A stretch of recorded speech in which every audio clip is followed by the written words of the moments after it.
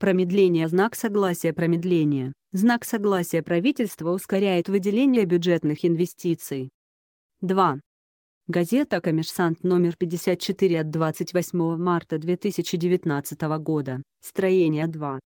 Белый дом упростил порядок переноса на следующий год остатков средств, выделяемых из бюджета на финансирование строек в рамках Федеральной адресной инвестиционной программы, ФАИП. Согласно постановлению, подписанному Дмитрием Медведевым, это будет сделано за счет сокращения срока согласования такого переноса Минфином, если это ведомство в 10-дневный срок не представляет своего заключения на предложение, они считаются согласованными. Как рассказали твердый знак в аппарате правительства, первые решения, направленные на повышение эффективности использования бюджетных средств при исполнении ФАИП, уже приняты.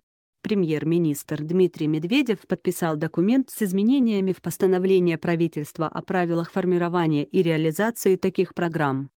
Отчет об исполнении ФАИП и федеральных целевых программ ФЦП рассматривался на заседании правительства 21 марта, и эффективность работы в рамках адресной программы вызвала тогда серьезные вопросы у премьера. На ФАИП в 2018 году было выделено свыше 740 миллиардов рублей, уровень их кассового исполнения оценен в 82%.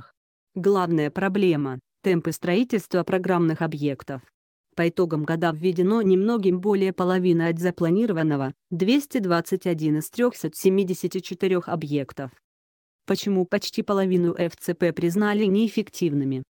Премьер-министр тогда потребовал устранить причины отставания.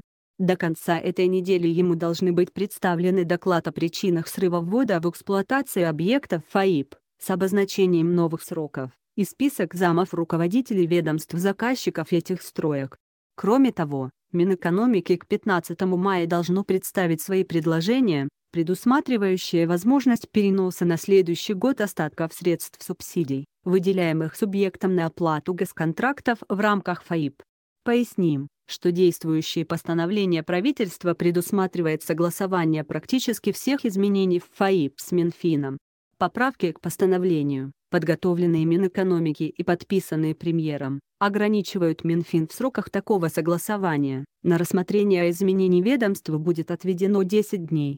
Если по истечении рабочего дня, следующего за этим сроком, ведомство не согласует или же не представит свои замечания, то предложения Минэкономики и других главных распорядителей бюджетных средств будут считаться согласованными.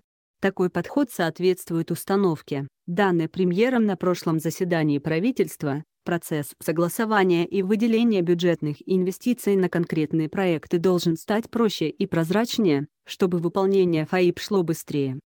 В Минэкономике «Твердый знак» сообщили, что практика переноса неиспользованных остатков средств весьма распространена и реализуется с 2015 года.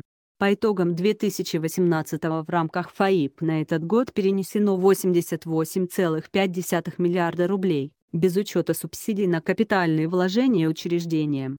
Сейчас, добавляют в Минэкономике, сроки согласования такого переноса с Минфином нормативно занимают 14 дней, а в случае выявления неточностей и ошибок – около 30 дней. Таким образом, новые правила существенно упростят процедуру. В Минфине согласны с тем, что принятые изменения позволят ускорить процедуру переноса остатков средств на счетах. Данная норма вводится для того, чтобы субъект успел освоить бюджетные средства в текущем году и сократить риски образования остатков на конец года, сказали твердый знак в ведомстве.